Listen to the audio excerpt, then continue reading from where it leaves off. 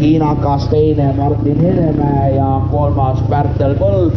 vaateveerandse juunior kiirem täna rajal Sebastian Pedras, teine Lauri Põldmaa ja kolmas Elis eh, Kivimägi